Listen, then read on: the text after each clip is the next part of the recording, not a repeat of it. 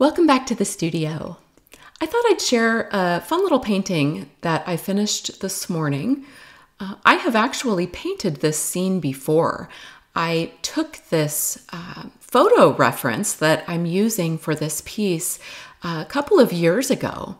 And I've painted this scene uh, with a very warm palette. That painting is actually at a gallery in Michigan that I belong to.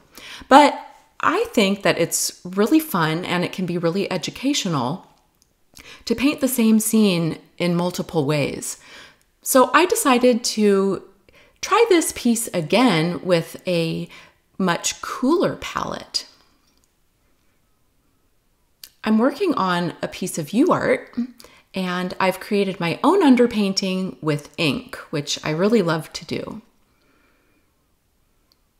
I'm working with a very analogous palette as well as a very complementary palette.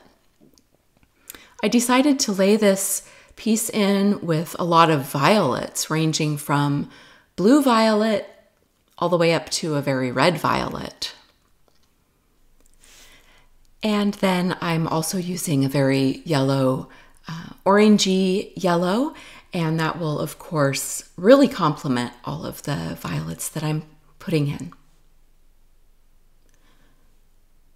I really wanted to convey a sense of early morning on this commute where everything is still pretty dark, but the sun is just starting to peek over those mountains.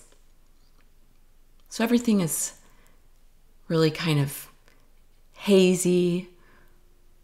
I love that, trying to recreate that look. Starting to work in my background.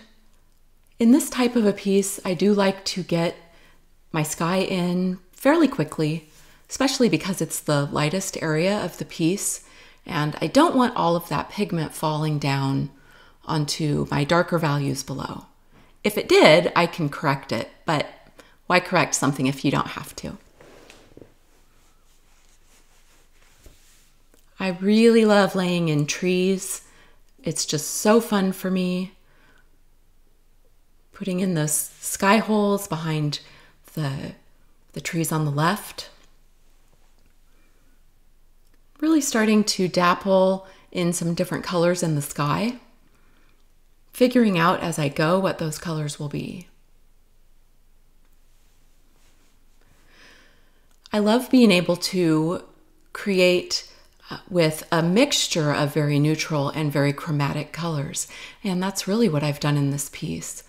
Really kind of rotating back between very muted violets and very chromatic violets in my trees.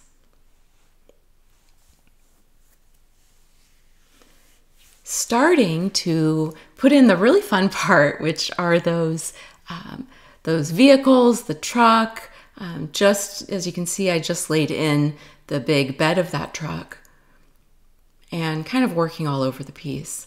I like working all over a painting um, as much as I possibly can. It's easy sometimes to get stuck in a particular place, and you, that will lead to overworking uh, and also just getting really too focused on one area. And then you're not looking at the painting as a whole. Because I'm working in such a analogous palette with all of these violet tones, when I put in something like a warmer gray, like I just did um, in the barrier area between the freeway, between the two roads, it really shows up as much warmer. So if you looked at that color um, on its own, it might just look very, very gray, but here it almost looks green. Because colors always depend on what's next to them. Here I'm really having fun laying in, starting to lay in some of those uh, lights on the vehicles. And I'm starting, as you can see, with uh, darker violets, dark, darker reds, um, and I'll work up to the bright, bright yellows of those lights. which are really going to pop um, because they are uh, because they're the complement of the violet. So starting to lay those in, it's so fun. the best part, all of the little highlights and accents at the end of a piece. You'll see in a minute here that I'm using my finger to smudge uh, a little bit of those lights. I'm doing that to not only um, break an edge of the lights, like right there, but also because the vehicles are moving and I want them to appear like they're moving. So by creating a little bit of a smudge, it really helps the viewer feel like there's movement in the piece. Thanks for joining me. I really had fun painting this this morning. If you would like to come visit me on Patreon, you'll see this entire piece put together with much more detailed commentary on how I made it work.